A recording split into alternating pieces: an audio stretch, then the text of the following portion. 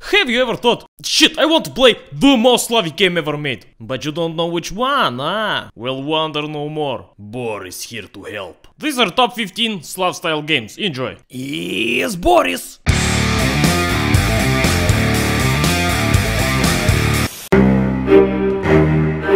Dive into world of hard bass and squatting with Slav Simulator. Much vodka and kalbasa, overflowing nuclear reactor and outhouses make the scene for the ideal Gopnik village. What the blin? Just try not to anger the Adidas wearing Slavs unless you want to end up with minus 100 health. Made by Czech developers, this Slavic masterpiece allows you to fulfill your dream of driving truck around Europe. With the option of starting game from Poland or Czech Republic for example, this game puts you right in driving seat of big trucks with important load. Or you could just fuck around like I do. Co-developed by Ukrainian software company Men of War is series of real-time strategy games. Men of War Assault Squad 2 is based on events of World War II, taking place around the world. With wide variety of military hardware and uh, trams, this is the Slav real-time strategy game for you. You like big Soviet trucks? Then you will like this game. Spintires is car simulation game, but instead of driving fast on track, you drive around in swamp and forest and lake. Although there is very serious campaign in this game, you just like to drive and fuck around until car is destroyed. If you're a Slav gamer, you will love this one. A game about bravery, communism, and lots and lots of shooting. The Stalin Subway is shooter game taking place in secret metro tunnels in Moscow. You play part of Gleb, a comrade who apparently wants to avenge his father who was killed for not drinking enough compote, or something like that. How could you let it happen?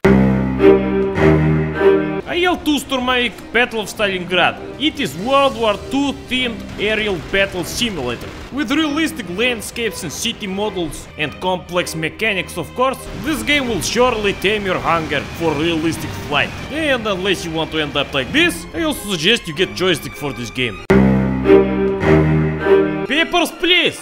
It takes place in fictional Slav-style country called Arstotzka. You work as immigrant officer at border checkpoint, and your everyday job is to check documents. Living the dream. At points in the game it is up to you to decide your fate, as this game has several endings. Try it out yourself.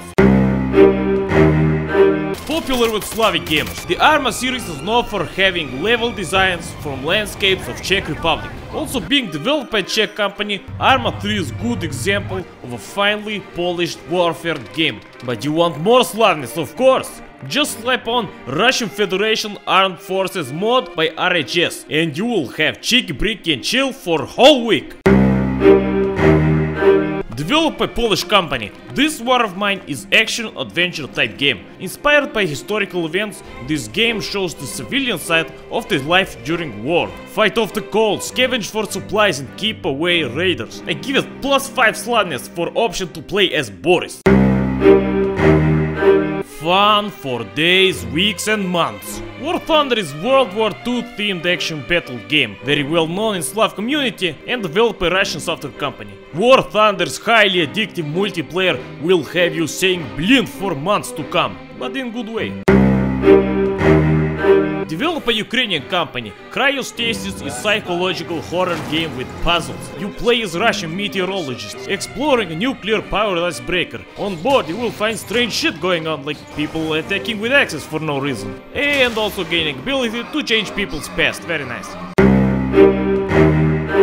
Starring Niko, a man of Serbian nationality. GTA 4 has wide variety of Slavic and Eastern European influences. If it's Vladivostok radio, the Russian clothing shops or the main storyline which is mostly Slavic anyway, your Slav soul will feel right at home.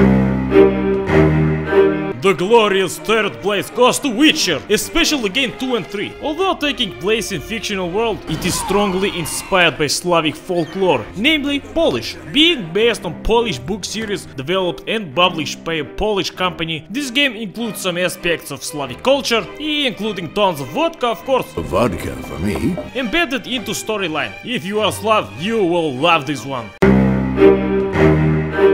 Position number 2 goes to Metro 2033, a game developed by company originally based in Ukraine. Metro takes place in post-apocalyptic Moscow. You play a survivor of nuclear war, fighting off mutants and crazy hallucinations of dark beings. Using bullets as currency and gas mask filters to stay alive, it cannot get much more love than this. The Metro 2033 game is adaptation of a novel, which I also suggest you give a try. The sequel to this game, Metro Last Light, continues where the first game left off, with plenty of more toxic air and mutants to come.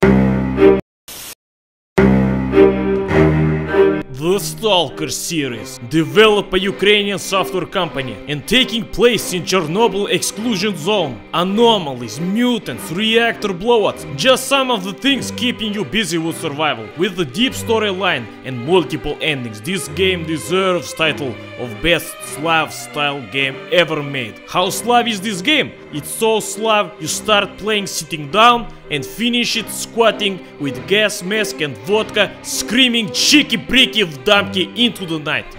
Well friends, I hope you enjoyed my top 15 Slav style games. Go ahead, give them a try, you will not be disappointed. Let me know what you think. And I will see you next time friends. Keep it cheeki breeki.